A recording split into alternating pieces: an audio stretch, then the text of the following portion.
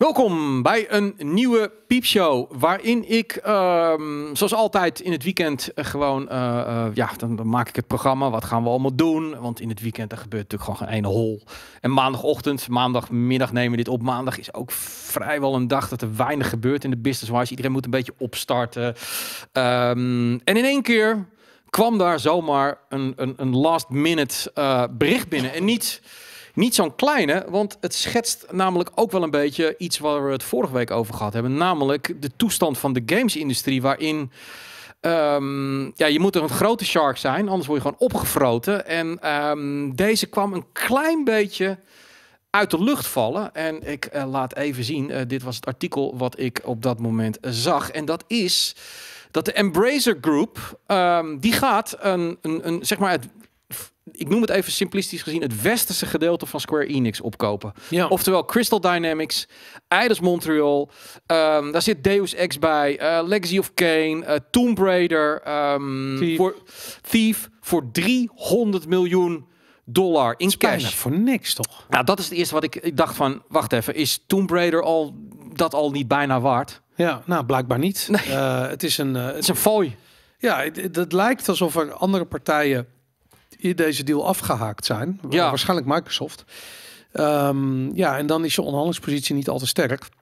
En dan hebben ze dus die, die, die, dat bod van 300 miljoen moeten accepteren. Ja, Maar ik vind het, ik vind het schokkend weinig geld. Maar Mhm. ik vind het, wat ik ook schokkend vind, is dat ehm, Square Enix eigenlijk het, hun westerse development tak gedag zegt. ja. En ik vind het schokkend hoe ontzettend groot de Embracer groep aan het worden is. Zeker. Ehm, voor de mensen die de Embracer Group, Group niet kennen, logisch. eh, het is een partij die eh, vooral alles wat overblijft, als ik het ook even heel simpel zeg, die, die pakken ze op Koch Media, eh, Gearbox, al die... THQ, het is met THQ, begonnen. Ja, precies. THQ Nordic hebben ze overgenomen. Ehm, die hebben eigenlijk... Nee, nee, nee. Ze, hebben op een gegeven moment, ze, ze waren Nordic Games. Oké. En op een gegeven moment hebben ze ehm, eh, hun naam veranderd. Ze hebben Mhm. inderdaad de failliete inboedel van THQ met een paar IP's hebben ze gekocht. Ja. Dat hebben ze hun naam naar THQ ge, eh, ge- eh, eh, hernoemd, THQ Nordic.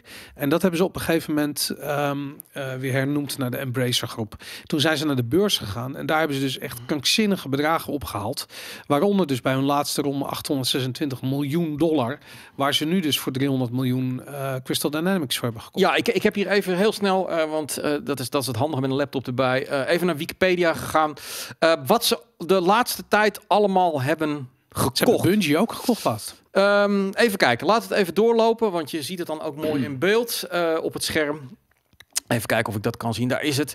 Eh, nou, klein Black Forest Games. Ze doen ook heel veel kleine dingetjes. Hè? Dat Ja. is in 2007. Ze begonnen eh, rustig aan. Nou, dan zie je al eh, Koch Media. Nou, dat, dat, dat, is, dat, is, dat is vrij groot. Die hebben ook weer allerlei dingen. Fish Labs, Volition erin. Handy Games, dat is meer mobile. Coffee Stain Holding. Dat zegt mij verder niet zo heel Nou, veel. Coffee Stain Holding is een. ze, ze opereren uit een aantal verschillende bedrijven. En die Mhm. Coffee Stain Holding, daarin zitten dus een aantal verschillende studio's. En dat, eh, dat, ze zijn nu eh, ja, dat, dat aan het uitbouwen eigenlijk. Oké, even kijken wat er nog meer staat. Warhorse, Piranha Bytes, Gaia Entertainment. Warhorse Studios ook wel interessant. Ja. Die zijn nu bezig. goed, oké. Inderdaad, ehm nou, Saber Inter- Interactive is natuurlijk ook wel iets eh, wat bekend is. Als je het bedoelt, ze hebben een hele vette vrachtwagen simulator, snow, eh, snowrunner. Ehm, even kijken, 4A games. Nou, wat, kijk hoeveel Vertigo games, Nederland. Ja, die hebben ze gekocht natuurlijk. Ja, Ehm, heel veel studio Mad Head Games. Even kijken hoor. Eh, Gearbox Software. Nou, dat, dat is echt een, een grote. Even kijken. 1,3 Miljard. miljard. Ja, dus Ja. Gearbox met Borderlands en ze zullen ongetwijfeld nog andere dingen doen, maar wij hebben best wel vaak kritiek op, op, op, op Gearbox dat het nou niet allemaal topnotch is. Is dus meer waard als de IP's van een Deus Ex en een, eh een Tomb Raider. Nou, vind ik dan opvallend. Ja, nee, ze hebben echt heel weinig betaald voor die. Ja, Aspire. eh, nou, het gaat, het gaat maar door. Het is, het is kopen, kopen. eh, het is niet normaal. ja, maar moet je kijken. En hier staat onderaan Square, Square Enix. Ja. Dus dat is ook een, een, een, dat is wel heel grappig, want niemand heeft het erover. Maar het is een hele grote groep. Zij doen niet, zeg maar, de, de, de, de miljarden overnames. Dat, dat, dat dan net niet. Nee, ze zitten heel erg in het middensegment. Maar ik, eh, wat zij uitgeven is wel degelijk substantieel. Mhm. En wat ze aan het doen zijn. Ze hebben nu op dit ogenblik namelijk... ehm, ik, ik zag dat van, vanochtend in een artikel voorbij komen. Ze hebben... ehm 14.500 mensen in dienst. Ja. Op dit ogenblik developers, onder andere. Ze, hebben, eh, ze werken aan 230 games op dit ogenblik. Waarbij 30 AAA-titels. Fucking hell. Ja, maar precies. Ja, het is heel erg veel. het En wel, ja. wa- wat ik interessant vind, want ik, ik heb een paar interviews opgezocht met die eigenaar van deze van het Embrace Eigenlijk de- Zweedse man. ja, mij. Zweed is dat. Dat is de oprichter van dat Nordic Games. Mhm. En hij, ehm, zijn filosofie is, hij zegt van ja, in die gamesindustrie is eigenlijk alles steeds meer gecentraliseerd geworden. Mhm. Met als eh, eh, effect dat je dus alleen maar een paar grote franchises overhoudt. Nou, dat zie je bij EA, Activision, dat is overal Klopt. gebeurd. Ja. Die hadden nog maar een handvol games op een gegeven moment. Nou, dan krijg je die games die moeten scoren. Als ze niet scoren, dan eh groot probleem. En hij zegt van ja, dat is lastig, want dat is, dat is eigenlijk een doodlopende weg. Ja. Wat je wil is juist eh, de markt pakken met volume. Mhm. Dat zijn, zijn letterlijk zijn woorden. Zij zegt van ja, we moeten gewoon heel veel games maken. Ja. En dan eh, eh, ja, daarmee proberen ze groot mogelijk marktaandeel te krijgen. En dat, die filosofie is heel interessant vanuit het idee dat je bijvoorbeeld een Game Pass-achtige dienst opzet. Ik bedoel, zij zijn nu op PC-gebied bijvoorbeeld de allergrootste contentpartij. Omdat Ja. ze zo ontzettend veel shit hebben. Ehm, als zij een streamingplatform of een, of een soort, soort abonnementservice bouwen, dan Mhm. hebben ze zo ontzettend veel content. Ja. Uh, maar ze hebben ook bijvoorbeeld een hele goede onderhandelingspositie bij Microsoft, omdat ze zoveel content hebben. Dat ze gewoon Ja. kunnen zeggen van luister, wij willen een goede prijs hebben voor onze shit. uh, als je het in Game Pass wil hebben. Dus het is echt, het is echt interessant. En ik denk dat die, die man, die heeft, die zweet, die heeft echt de, uh, de juiste visie. ja, op de juiste tijd, denk ik Op ook. de juiste tijd. Ja, weet je? ja. Waar je, waar je namelijk ziet dat zowel uh, Ubisoft, waar we het vorige week uitgebreid over gehad hebben, maar ook EA en Activision, weet je, dat die, die bedrijven hebben het allemaal zo ontzettend moeilijk. Ja. En Microsoft is aan het doen wat zij ook aan het doen zijn. Alleen met de nul erachter. Ja, ja, ja. Weet je, zij betalen overal gewoon, weet ik veel, vele miljarden voor bedrijven. Mhm. Terwijl uh, Embracer is gewoon bezig om alle middelmootpartijen op te kopen Ja. voor relatief weinig geld. Ja, absoluut, ja. En dat is heel interessant. En ik denk ook de, de, eh, waar- waar, de grote partijen allemaal gericht zijn op die, die, die 10, 20, 30 miljoen klappers die ze willen maken. ehm, denk ik, de, is, is de filosofie van Embracer. En, en ja, ik, ik werk veel met, met Koch Media. Daar zie je ook gewoon van die titels die gewoon met 1 of 2 miljoen verkoop Ja. winstgevend zijn. Of Ja. misschien zelfs minder. En eh, allemaal minder marketingbudget, et cetera, et cetera. Maar, dat, maar de, de- ze hebben gewoon de, de lat wat lager gelegd. Niet zozeer qua kwaliteit, maar qua verkoop. En doordat hij zoveel heeft, Ja. kan hij ook her en der een misser maken. Want die vult hij weer op. Want er zit bij 230 games zit er altijd wel eentje bij die het bijzonder goed gaat doen. Nou ja, wat het, wat het belangrijkste is, is dat je moet proberen om je overhead laag te houden. Ja. Ehm, eh, en de kosten laag te houden. Want Mhm. dan, weet je, als dan een, een, eh, eh, weet ik veel, een, een, game eh 3, 4 miljoen stuks verkoopt, Ja. verkoopt, dan maakt het flink winst. Ja, In plaats van dat je zegt van nou, we gaan 100 miljoen gaan we uitgeven aan de development van die titel. En dan moet hij zeker 20 miljoen stuks verkopen. En weet ik, en, ja, je wordt helemaal gek, hou op schuit. ja, De kans dat dat lukt is steeds kleiner en kleiner en kleiner. nee. En dat, ehm, ehm, ja, dit, dit is echt heel interessant. Ja, Ehm, dan had ik nog op een gegeven moment, maar dat is een beetje terrein eh, van Mm. speculatie. Kijk, ehm, Square heeft nu vrijwel zijn hele westerse tak, want er was nog wel iets Life is Strange en zo wat ze nog wel hebben. Eh, toen dacht ik van, oké, die 300 miljoen, hè, wa- waarom verkoop je? Verko- je verkoopt in principe iets omdat je het geld nodig hebt. Ja. Dan denk ik, die 300 miljoen, dat is, dat is een druppel op een goede plaat. Als, als het misgaat bij zo'n bedrijf, dan is 300 miljoen te weinig om te zeggen, nou, nu ben ik, nu ben ik veilig voor de komende jaren. Zou het niet zo kunnen zijn dat ze nu dit gedeelte hebben ze al verkocht, ehm, maar dan hebben ze ook nog het Aziatische of het Japanse gedeelte, de Final Fantasies en dat soort dingen, dat ze daarmee misschien wat meer richting een Xbox kijken of een Sony. Nee, dat maakt Nee? geen sens. Het maakt geen sens om je bedrijf in stukjes Op te verkopen. In de hoop dat je het laatste overgebleven gedeelte makkelijker verkoopt. Nee. En bovendien voor die 300 miljoen, dat was voor Microsoft, eh, dat, is, dat is peanuts. Nou, het raar is dat ze met Crystal Dynamics hadden ze net een deal gesloten dat die hun zouden gaan helpen eh, om. Wie Microsoft had het gedaan. Ja, daar hebben ze een deal mee gesloten. Ehm, en dit, dus iedereen vraagt zich af waarom hebben ze dit dan niet gekocht? Maar ja, heeft dat dan ook te...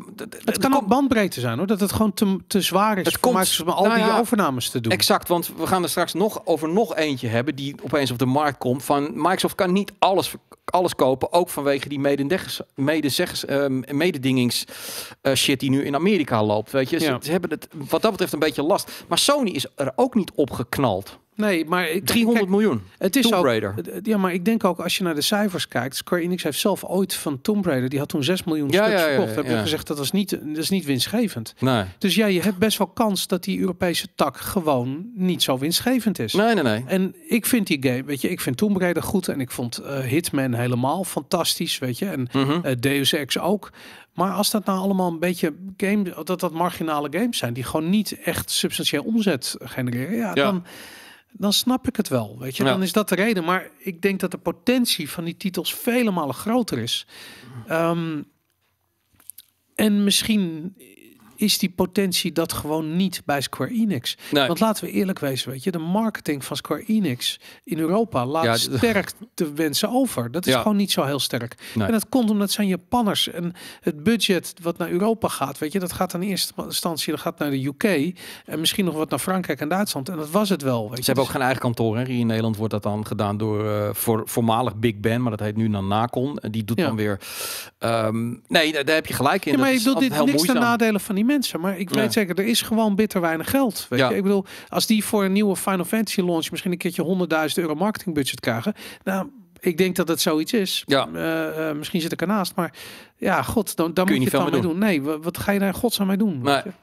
Ehm, maar goed, weer dus een overname eh, binnen de gamesindustrie. Ik vind wel, op, en ook Gearbox, hè, laten we eerlijk wezen, dat is hun grootste overname geweest. Maar dat is geen kleine partij. Nee. Weet je, ik bedoel, Net een nieuw kantoor overigens Maar- in maar de- Nederland, ja, en de, Europees. Da- Ja. Dat vind ik zo interessant. Dat die, als je kijkt naar al die, ehm, eh, eh, al die titels die ze hebben. weet je, Mhm. al die, die, die franchises die nu bij dat Embracer liggen. Weet Ja. je? Ik bedoel, het is, ja, het is, misschien is het jeugdsentiment, misschien niet. Ik weet het niet. Nee, maar, maar, maar dat is het natuurlijk terdege. Het probleem zit hem in dat, precies wat jij zei, zo'n Tomb Raider of een Legacy of Kane, weet je, dat, dat verkoopt niet meer 10 miljoen plus. Dat verkoopt eh, Legacy of Kane, ik, ik weet het niet, maar misschien dat hij er nu één of twee en Tomb Raider op zes. Maar voor heel veel mensen heeft dat nog steeds een charme. Wie weet kun je juist met een frisse aanpak weer nieuwe mensen winnen. Voor een PlayStation of een EA of Activision, ja, dat zijn geen bedrijven die die, die, die durf meer nemen. Dat moet een zekerheid zijn, weet je Ja. wel. Eh, ehm, dat maakt het moeilijk. En ehm, ja, Embrace doet ook. Ik bedoel, ze zijn nu ook weer. ehm, ehm, eh, God, hoe heet het nou? Saints Row. Dat gaan ze ook weer opnieuw Ja. oppakken. Dat doen ze met die oude franchise waar zij nog potentie in zien. Waarschijnlijk ook vanuit zijn eigen jeugd. Van Ja. hey, dat ken ik nog tof. Dat gaan ze. En dat wordt toch met andere budgetten gedaan. Dat, dat zie je ook een beetje aan af. Maar je weet het nooit of iets opgepakt wordt of niet. Nou, weet je wat ik er goed aan vind? Het klinkt heel raar, maar ik, ik heb het idee dat zeker in, die, in, die, in dat middenklasse segment, zeg Ja. maar, weet je, dus in de randen, de Saints Row en zo, daar heb ik het idee dat die eh, developers altijd te horen hebben gekregen van ja, nee, maar dit moet eh triple E, weet je, Exact, dit, dit, ja. dit moet het beste verkopen ooit. Zag je bij Tomb Raider ook heel Ja. erg, dat straalde helemaal van de geliktheid en, en daarmee eh, neemt het ook de ziel van die games Mhm. een beetje weg. Weet Ja. je? Want als zo'n game, eh, eh, als die gemaakt moet worden met de verwachting van dit wordt een, dit wordt een triple-E videogame, Ja, eh, dan kun je niet eens even iets geks doen of iets Nee. creatiefs of iets raars doen, iets wat studio eigens is. zeker. En dat, we hebben een keertje ehm, een interview gedaan met die gast die Hotline Miami gemaakt had. Mhm. En die was toen bezig met Hotline Miami 2 en die zei dat toen ook. Die zei van ja, de, bij je eerste game is er geen druk. Dan kun je gewoon je, Ja. je, je hart volgen en dan kun je gewoon vette shit maken en dan kun je het perfectioneren. En eh, als dan eenmaal die verwachting er ligt, is het heel erg moeilijk om nog aan die verwachting te voldoen.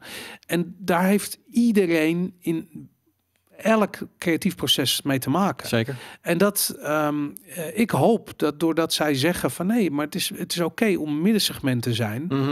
Dat ze juist eh, wat vrijer zijn om hun eigen, creatief, eh, eigen creativiteit te volgen. Zeker. Ja. En dat, eh, wie weet, pakt het wel goed uit voor Nou, de ik, dat, dat idee heb ik ook wel hoor. Dat, dat Embrace Group wat dat betreft wat meer afstand houdt. Gewoon, natuurlijk zullen ze ongetwijfeld targets met elkaar afspelen. Maar wel wat meer van, hey, ma- maak gewoon je game. Maak gewoon je game en we gaan kijken of het verkoopt. En ik denk ook gewoon, als het niet verkoopt, dan alsnog kappen ze het af. Maar niet van voren al die druk van het moet mainstream zijn en er moet Battle Royale en er moet dit uit en dat het moet hip zijn.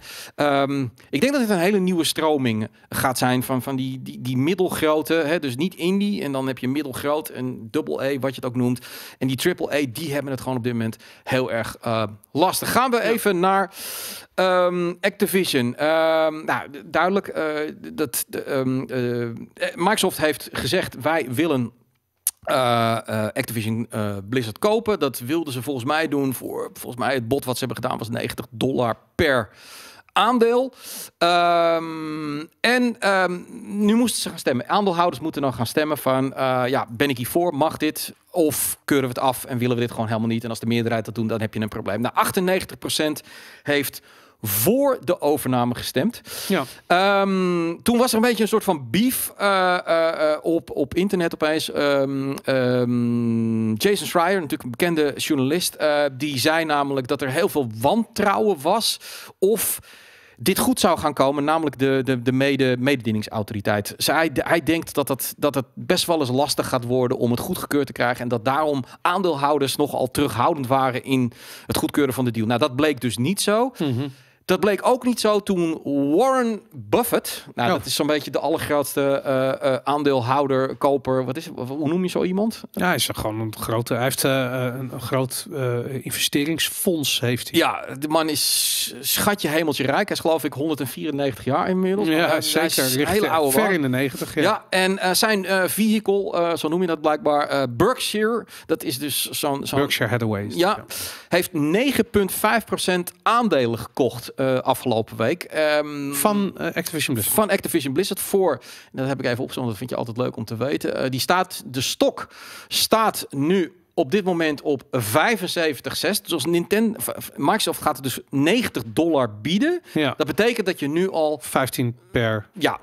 En wat mensen nu zeggen is het feit dat Warm die gokte dus op dat het dat, dat, goed dat het door gaat komen. Dus hij, dit is ook een positieve, positieve aankoop. Hij zegt ik ga hier gewoon geld mee verdienen. Maar ik moet zeggen, als Warren Buffett Bill Gates opbelt en vraagt van kun jij eens even vragen daarbij, want die kennen elkaar heel goed. Mhm. Kun jij eens even vragen daarbij eh, Microsoft of die overname wel doorgaat? En Bill Gates zegt ja, volgens mij gaat het wel gebeuren. Dat zou best kunnen, ja. Dat, eh, dat mag natuurlijk niet, maar ik, dat zou ik weet zeker dat dat eh, zoiets is. Nee, ehm, ja, dat geeft ook weer aan. Want, want de- de- je kan namelijk ook op eh, verlies gokken. Hè? Dat kan namelijk ook. Dat het niet doorgaat en dat het hele aandeel in elkaar crasht. Nou, het feit dat Warren Buffett er dus achter gaat staan... dat geeft dus blijkbaar heel veel aandeelhouders eh fiducie dat dit gaat doen. Grappig is ook dat hij dan, eh, als hij 10% gaat kopen... dan moet hij ook uitleggen waarom hij het doet. Geloof ik dat dat de dat- regel is. inderdaad, er is een Dus dat doet hij dan net niet. Ja, dat is waarom Elon Musk ook niet in de raad van bestuur wilde, want dan kan hij maar 15% aandelen, weet ik veel. Precies. Ehm, even kijken hoor. Dus, ehm, maar het grappige was, en dan ga ik naar het volgende. Eh, even kijken, dan gaan we hier naartoe. Dit is namelijk eh, de stemming. Ehm, ik, ja, dus de eerste vraag was adaption of the agreement and plan of merger as it may be amended from time to time dated bla bla. Oftewel van eh, vind je het goed dat dit doorgaat deze merger? Nou voor. Ja, ik hebben nou zoveel mensen gestemd of zijn dat gewoon de aandelen die voorstemmen? Ik denk dat het aandelen zijn. Ja, precies. Nou, dan heb je tegen heb je eh, een stuk minder eh, eh, aandelen. Ehm, en dan abstain, dat zijn mensen die dan ja, die hebben niet gestemd. En broker non-votes, ik zou niet weten wat dat betekent. Ja. Maar de tweede vraag die ze zeiden was approval by means of non-binding advisory vote of compensation that will be or may become payable to named executive officers of the company in connection with the merge. Oftewel, Bobby Cottage, het geld wat hij mee gaat krijgen. En daar waren er maar, da- dan zie je in één keer dat er veel meer mensen daarop tegen waren. ja, tuurlijk.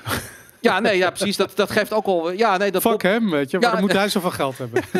dus Bobby Cottage ligt niet helemaal eh, lekker, maar ja, hij zit er nog steeds. Ehm, het is nog steeds niet. Nee, maar hij, hij zit daar totdat die deal is afgerond en dan gaat hij met pensioen, denk ik. Want ik bedoel, de man is ook al eh, eh, ja, toe aan zijn tropische eiland en zijn cocktailtje op het strand, denk ik. Dat eh, lijkt me zo. Ja. Nou, dat, dat, ja, dat proces gaat nu gewoon verder. In ieder geval, ehm, het is nu gewoon wachten op de, eh, op de mededingingsautoriteit. Keuren die het goed of keuren die het niet goed? Ik zou het niet weten. Ik heb er te weinig verstand van. Ik denk het uiteindelijk wel. Eh, het bepaalt namelijk ook wat Microsoft verder nog gaan, kan gaan doen. En dat is weer een bruggetje naar eh, het bericht wat al, al bijna een jaar een beetje rondgaat. Namelijk dat Warner Brothers, die zijn samengegaan met Discovery. Ehm, Discovery is natuurlijk gewoon, heeft in principe niks met games. Die zijn veel bezig met, met, met, met televisie, series, films, al dat soort dingen. En dat game gedeelte van Warner Brothers, dat, dat, dat hing er een beetje bij. En dat, Ja. ja. dat hing al een beetje boven de markt. En dan willen ze eigenlijk liever niet studio's verkopen, maar dan wel losse IP's. Wat ze nu eigenlijk ook doen.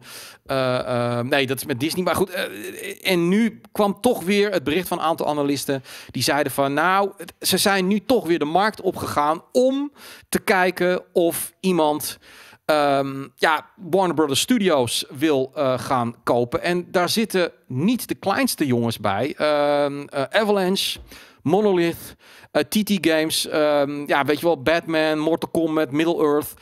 En daar En schijnt... Just Cause natuurlijk. En Just Cause, heel belangrijk. Ehm, en ja, de partijen die hier interesse in hadden... Nou, mensen gaan dan meteen zeggen, oh, Microsoft, uh, Sony. Maar ook EA, Take-Two, Tencent, NetEast en PUBG Corporation... zouden interesse hebben om eh, deze buit dan binnen te gaan halen. Ja, ehm, ook hier kun je weer zeggen... ja, het, eh, voor Game Pass zou dit interessant zijn. Eh, voor Sony zou het een beetje weird zijn... omdat zij nog steeds de filosofie hebben... het moet echt wat toevoegen. Alhoewel ze hebben nog geen fighter.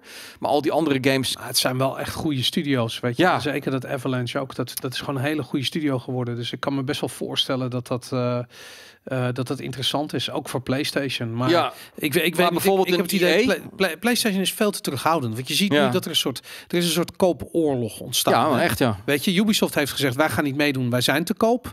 Eh, nou, die Embracer groep hebben we gehad. Eh, Microsoft weten we natuurlijk van alles van. Take-Two heeft ook al eh, een keer de portemonnee getrokken. Dus je ziet nu gewoon, er, er, er begint nu een soort consolidatie plaats te vinden. Waarbij eigenlijk alles en iedereen die niet sterk genoeg is om op eigen benen te staan, wordt Ja. opgekocht door anderen.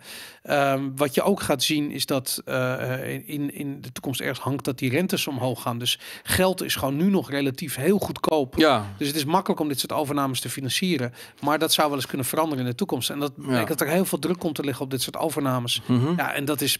De, de, de- ik bedoel, dat, dit gaat gewoon gebeuren. ik, ik, Ik vind dat Ja. de- dus te, te terughoudend is. nee, maar, maar dat, dat moet een reden zijn. Dat kan of de filosofie zijn, dat ze dat maar gewoon dat niet binnen, binnen DNA. Of het kan ook zijn dat ze gewoon de cashflow niet hebben om dit. Nee, ik denk dat ze het geld wel hebben. Maar ik denk serieus dat het, het is anders voor Japanse bedrijven. Het is ook Ja. een filosofie, hè? het is een cultuur. Zeker? En ehm, eh, je ziet gewoon dat Sony heeft eerder studios gesloten de afgelopen tien jaar dan dat ze Mhm. echt veel nieuwe dingen hebben aangetrokken. En dat, ehm, ja, dit, dit, dit is hun filosofie. Microsoft, denk ik, eh, dat die toch een beetje. ehm, het moet ook niet te snel gaan. Ik denk dat ten eerste hebben ze natuurlijk nog die deal met Activision Blizzard die gewoon rond moet komen. Dat willen ze absoluut niet in gevaar eh, laten brengen. Daarnaast heb je natuurlijk ook wel, als je zo snel al die shit erbij koopt, je moet het ook maar weer binnen je bedrijf op de juiste manier zetten. Ehm, ja, maar dat is nou wel typisch iets wat Microsoft wel kan. Weet Ja. je, Microsoft is gewoon zo groot. Die zetten makkelijk nieuwe divisies op. Weet je, Mhm. dat, dat, dat doen ze wel vaker. En wat dat betreft denk ik gewoon van ja, als je een nieuwe game divisie opzet, ja. Eh, eh, ehm, of eigenlijk hebben ze dat al. Dat is al wat Xbox doet, weet je. En als je daar dan, wat maakt het dan nog uit als je daar Ubisoft onder hangt en, en, en weet ik veel, nog wat meer studio's, Ja. weet je. Ik bedoel, ja, Ja, ik, ik, ik, ik zag laatst een, een, een, een- een plaatje. ehm, moet ik even kijken of ik dat even heel snel eh, kan vinden. Ehm, even kijken hoe bij. ja. Nou ja, dat, dat, dat er inmiddels al bijna 64 games in ontwikkeling zijn. eh, voor, ehm, voor de Game Pass. En dat, dat, dat, dat, dat is gewoon insane. Insane veel. Ja, hier heb ik dat, eh, hier heb ik dat plaatje. Ehm, ja, je ziet met Activision, Bethesda is erbij gekomen. Kijk, stel je hangt hier nog een, een Warner Brothers of een Ubisoft onder. En nu kom je heel langzaam bij eh, wa- waar wij het wel eens over hebben van als jij een, een, een, een- gezonde Game Pass wil hebben, dan moet je elke maand eigenlijk een blockbuster erin donderen. Ja. Dat kan nu bijna. Ja. Je kan nu bijna. Het duurt ongeveer vier jaar per game om te maken. Eh, nou, dan, dan, dan heb je dus eh, heb je dus 4 keer 12, heb je 40, 48 waanzinnige games nodig. In ieder geval in potentie om elke maand op je ding te doen. Nou, da- daar komen ze nu naartoe. Dus die filosofie die klopt wel steeds Ja. meer.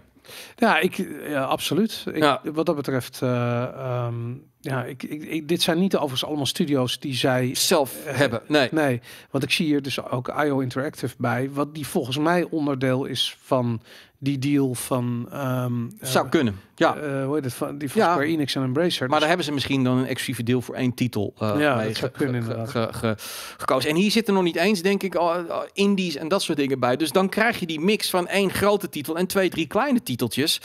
Ehm, met wat backcatalog erbij van, van third parties. En dan, dan heb je gewoon elke maand heb je weer die verversing die, ja. die je nodig hebt. Dus ehm, er kan zeker nog wat bij. Maar ja, blijkbaar springen ze er niet meteen boom bovenop eh, op dit moment. ja, nee, inderdaad. Ehm, ja, we gaan het volgen. Ja, Take Two vind ik. eh, die, die zijn nog steeds bezig met. Die moeten dan weer. Die hebben iets gekocht en die zijn dan weer aandelen aan het uitschrijven om dat geld binnen te halen. Ik vind dat nooit zo heel sterk staan. nou, maar dat is qua- werkt.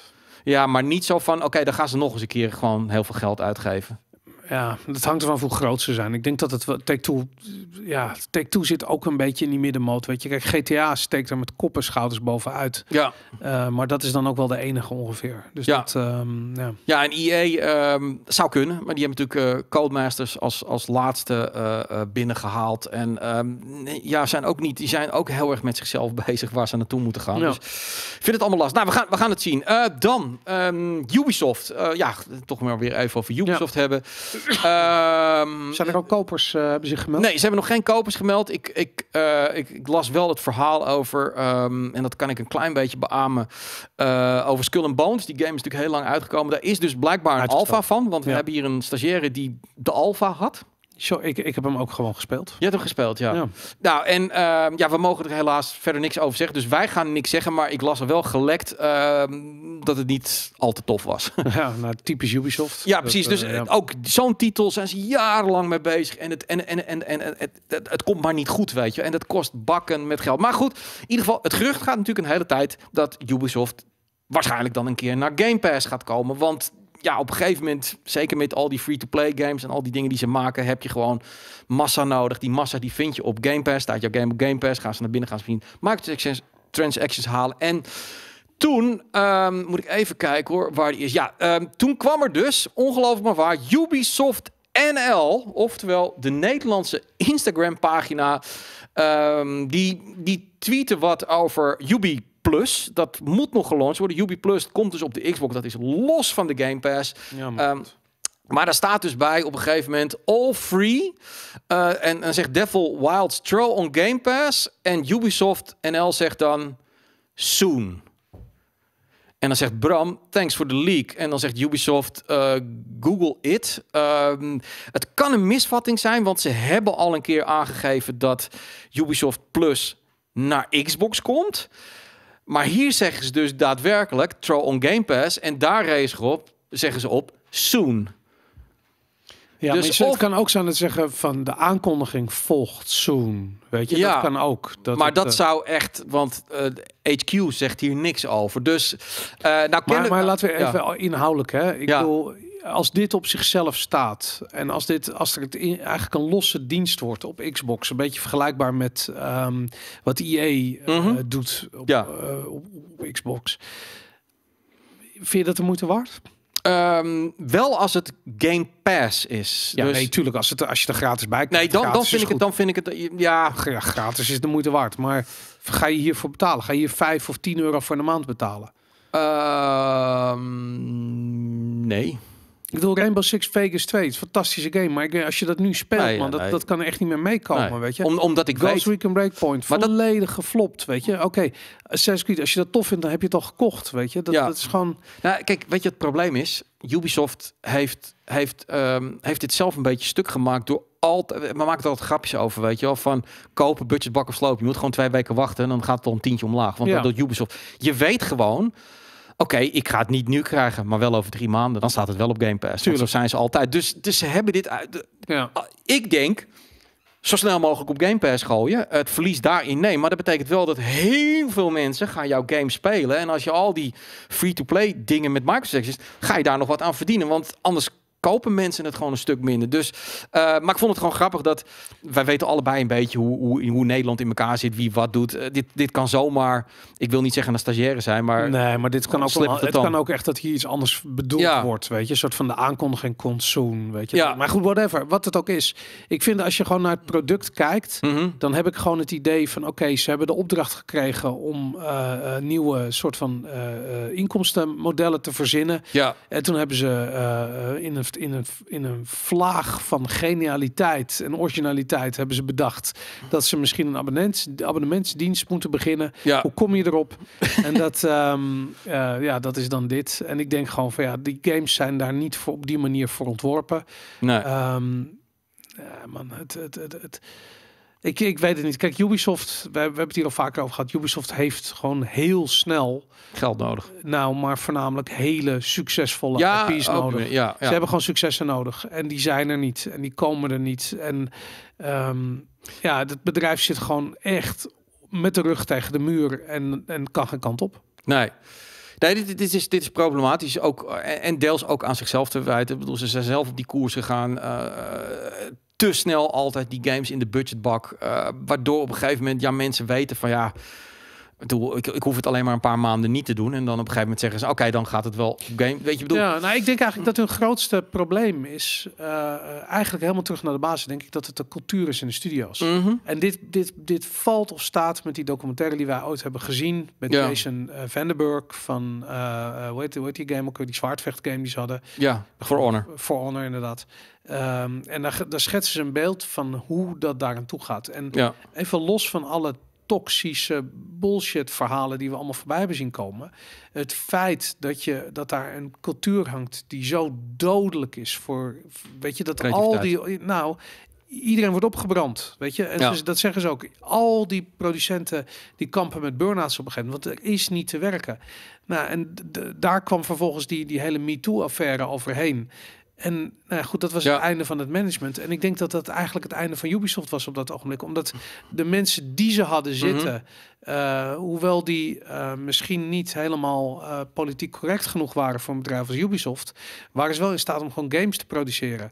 En dat is nu ook weg daar, Ja. weet je. En, Ja, ik, Ja. Ik, ik las ook wel een paar journalisten of, of, of ja, opinies die, die toch wel zeiden van jongens, het wordt toch wel steeds duidelijker dat, het, dat, het, dat die familie, familie Guillemot hier niet goed uitkomt. Dat, Ja. dat zij het zijn geweest, alhoewel Guillemot de hele tijd zegt van I'm gonna change it en dit en dat. Hij heeft op, man. Die- maar die hij is degene zelf- geweest die op een tuurlijk. gegeven moment zei van we gaan, we gaan op de IP's die we nu hebben, die gaan we volledig helemaal uitmelken. Dat is de, dat is de way to go. Nee, maar dat, toch is dat niet helemaal waar. Want Ja. ze hebben echt wel nieuwe IP's gelanceerd, weet je. En dat zie je nu ook weer met dat Skull and Bones. Ze doen het wel. Het zijn alleen de hele tijd van die middelmatige flops. En Ja. het probleem is, dat doe dat een paar keer. En het imago van Ubisoft gaat eraan. Zeker. En dat is wat er gebeurd is. En dat is eigenlijk ook begonnen met bijvoorbeeld Assassin's Creed Unity, weet je. Een Mhm. game die gewoon nooit uit had mogen komen. Met, eh, op, eh, hoe heet het, eh, Ghost Recon Breakpoint. Een game die nooit uit had mogen, mogen komen.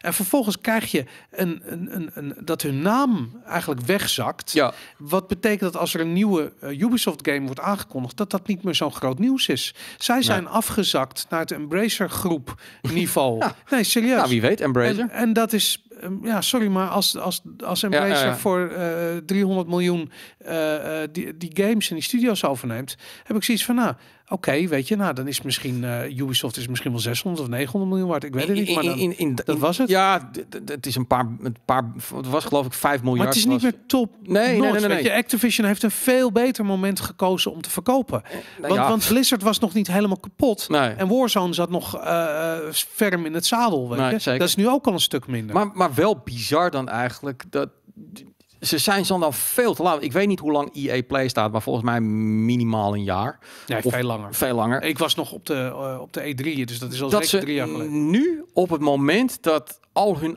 IP's eigenlijk eh, minder waard zijn, eh, mensen vinden het minder tof, dat ze nu pas met die servers komen. Dat hadden ze, als ze dat jaren eerder hadden gedaan, waren er veel meer mensen ingestapt. Ja.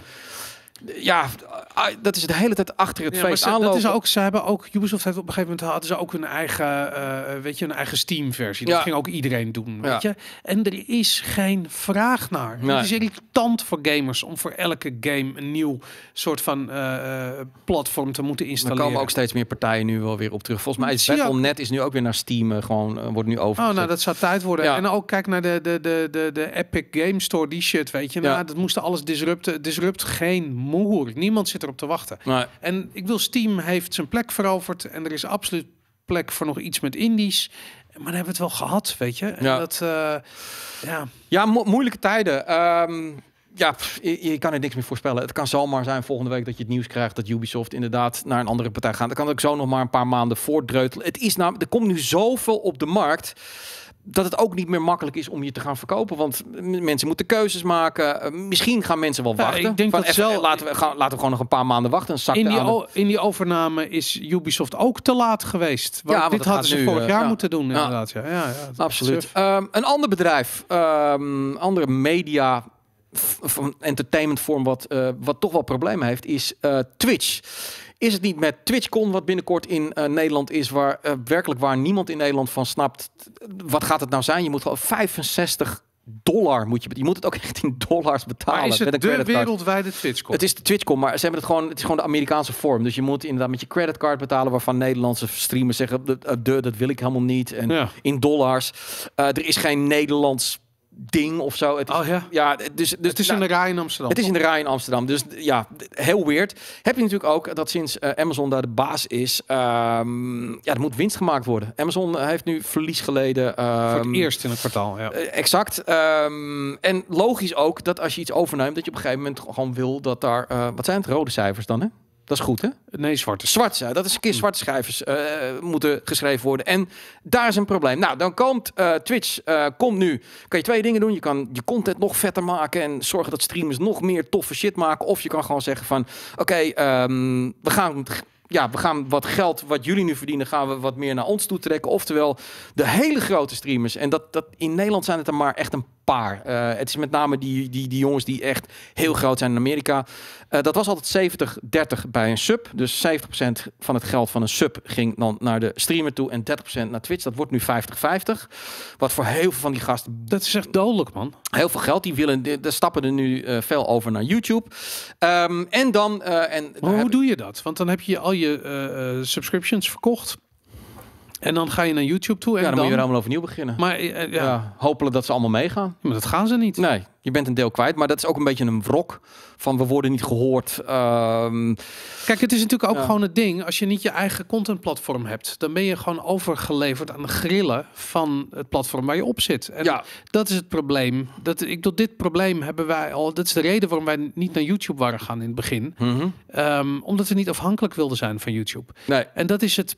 Ja, dat is gewoon zo ontzettend. eh, dat probleem is zo fundamenteel. Eh, en daar, de- iedereen is dat opnieuw aan het leren. En nu zie je dat ook dat de Twitch-streamers aan het leren zijn dat hun content eigenlijk de content van Twitch is. Nou, e- exact. Eh, ik Zij zijn gebruikers, ze zijn geen klanten. vind dat bijzonder grappig. Om, nou, nee, ik vind het helemaal niet grappig. Ik vind het sneu voor mensen die hiermee bezig zijn. Maar we hebben natuurlijk al jarenlang eh, zien wij ook eh, de influencers en werden we altijd een beetje van, wat moet je nou met een website, weet je wel, het kost over geld, dit het kost ook inderdaad geld. Maar nu zie je dus dat ze allemaal hetzelfde probleem hebben. Ze zijn niet baas van hun platform.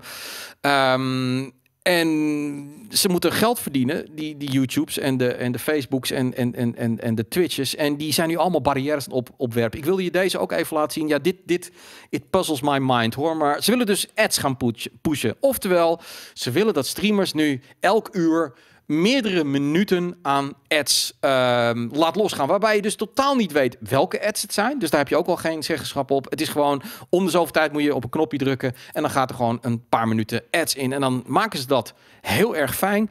Aantrekkelijk door te zeggen, je krijgt 40 dollar eh, als je twee minuten aan ads per uur laat zien. Maar dan moet je wel 127 uur per maand eh, streamen. Nou, bij 41 moet je 3 minuten, 1, 1 dollar meer. Waar, ik snap er ook niks van. En dan 59 dollar als je het 4 minuten doet.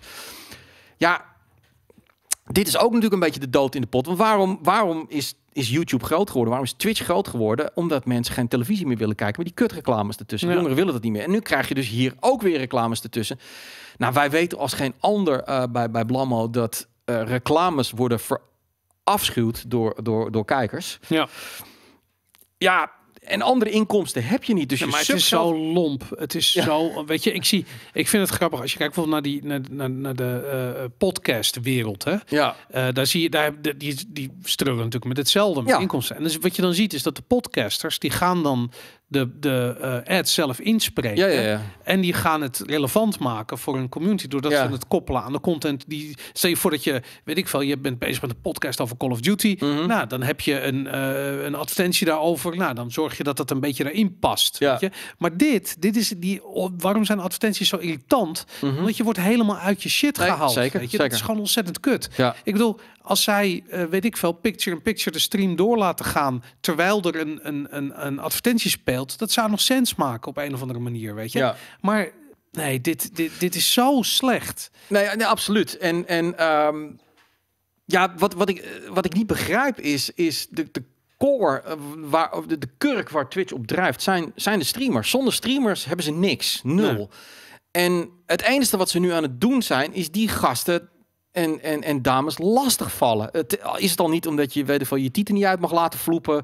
Eh, je, je Ik vind dat wij ook kinderachtig dat je titel niet mag. Oké, nou, en, en- maar je, de hele tijd de bands. eh, wij hebben ook een, een keer een, een ban gehad op iets Ja. wat uiteindelijk eh, niet correct was. Weet je, de hele tijd dat soort dingen. Dan komen er nog eens een keer die ads bij. Je subs gaan omlaag.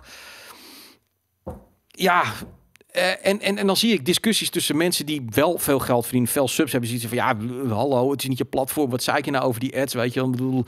Maar het zijn nou juist die, middel, die middelmatige streamers die hier een probleem. Want die hebben Ja. maar 50 of 60 subs. En met een beetje ads erbij hadden ze... de- Weet je, mensen, kijkers gaan echt weg bij kanalen die die ads doen. Want je, kan het, je hoeft het niet aan te zetten. Je kan het ook uitzetten. Volgens mij hebben wij het uitstaan.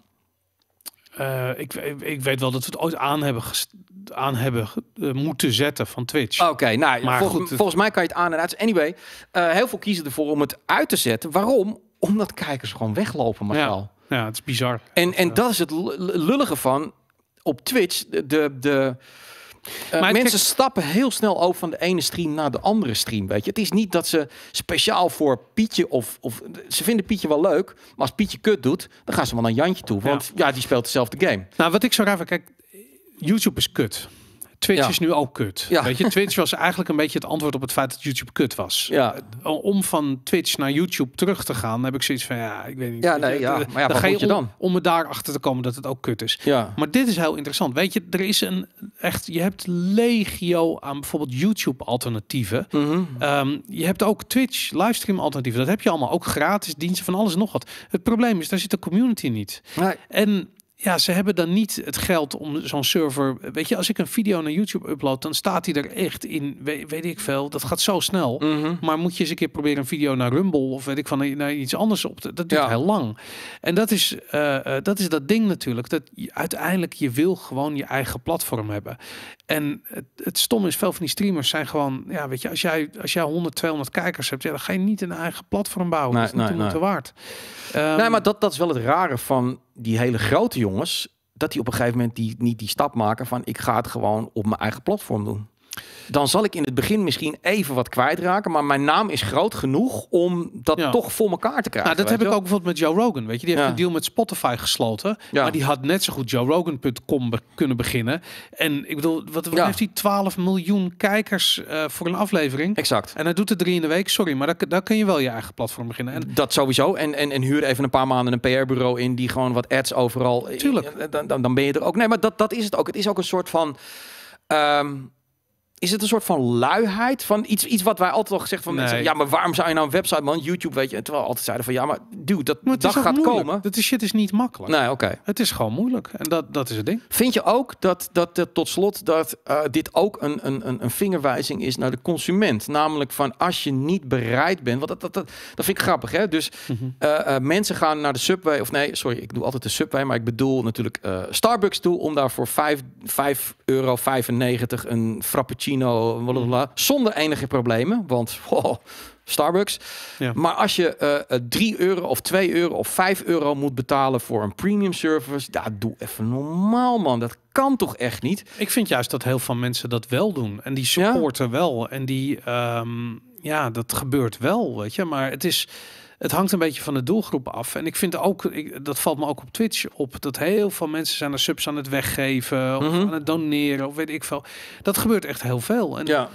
ja, weet je, ik vind het toffe juist van bijvoorbeeld ook van die donaties. Als iemand niet veel geld heeft en die doneert een euro, hey, dat is een euro, weet je. Ja. Terwijl als iemand wel veel geld heeft, nou, doneert hij 5 euro of 10 euro. hey, Mhm. dat is ook vet, weet je. Dus je, je mag dat een beetje zelf invullen. Ja. En dat, ehm, ja, dat is cool. Ik vind, kijk, het grote probleem hier bij wat Twitch nu doet, is dat ze in één keer die revenue share van die subscriptions van 70 terugbrengen naar 50, 50. Als jij van de ene op de andere dag 20% van je inkomsten Ja, nee, dat is niet dat leuk, is echt wel veel. Dat is veel, ja. En dat, da- daarom vind ik het zo raar dat zij dat Twitch niet eh, beter zijn best doet om die maker community te betrekken bij wat dat platform is. Nou ja, Want je kunt het ja. niet los van elkaar zien. Nee. Maar zij zien dat, zij zien dat anders. Nou ja, niet voor niets. eh, pff, dat is een paar piepshows geleden. Dat, dat veel van de core management, de, de creatievelingen die het begonnen zijn, zijn allemaal weggegaan. Omdat die dit natuurlijk al aan zagen komen. Van ik moet straks shit gaan lopen doen. Dat gaat niet werken. En ik wil het ook helemaal niet. Want Want, daarom is het zo raar dat Mixer gestopt is. ja, Waarom is daar... achteraf gezien wel, ja. Ja, maar het is zo raar dat daar... de- Weet je, Moet Microsoft... Microsoft dat niet gewoon weer op gaan starten? Ja, misschien wel. Ja, Ja. eigenlijk wel. Ja. Maar denk je dat dit naartoe gaat? Want eh, dit, dit gaat niet werken. Ik kan me niet voorstellen dat dit gaat werken. Zou je dan op een gegeven moment, als, als, als Amazon er zo bovenop zit, er moet winst, maken, moet winst gemaakt worden. Dat ze op een gegeven moment zeggen, weet je wat, er komt bijvoorbeeld een premium subscription. Oftewel, nee, maar dus, dus een streamer gaat bij wijze van spreken een bedrag per maand betalen om 24 uur per dag te kunnen streamen. En als je dat niet betaalt, dat je dan nog maar zoveel uur per week kan streamen. Dat soort dingen. Dat ze, al, dat, dat ze het maar gaan afdwingen, dat je geld af... af ja, want ze moeten iets. Maar wat, wat ze ook doen, het moet, het moet een keuze zijn voor de Ja. maker. Kijk, wat er nu gebeurt, is dat al die Twitch-streamers erachter komen dat ze het. eh, ehm, weet je, zeg maar, dat, dat ding is, als je niet betaalt voor een dienst, dan ben je de dienst. Ja, ja, ja. Die komen erachter dat zij de dienst zijn. En Ja. Twitch is hun aan het verkopen. ja. En eh, eh, het is take it or leave it, weet je. Als je het niet leuk vindt, dan donder je maar op. En dat is, dat is gewoon niet een goede manier om met je community om te gaan. Nee. En ik denk dat daar het grootste probleem in zit. En dat ja, kosten oplopen, die lopen voor iedereen op, ook voor Twitch-streamers. Ja. Ehm, waarom is Twitch zo duur? Waarom hebben zij 20% van alle inkomsten meer nodig? Ja. Hoeveel geld gaat dat eigenlijk? Kom eens met een goed verhaal om dat te onderbouwen. Ja. Weet je, nou goed, en dan, dan, dan komt er misschien wel wat. Maar op dit ogenblik, Twitch wijgt in alle talen. Ze doen maar wat. Je hebt geen idee of het sens maakt. Het is gewoon echt heel Nee. slecht. Gratis bestaat dus niet. Nee. Dat mag hier ook wel weer duidelijk zijn. Goed, ehm, volgende week een nieuwe piepshow.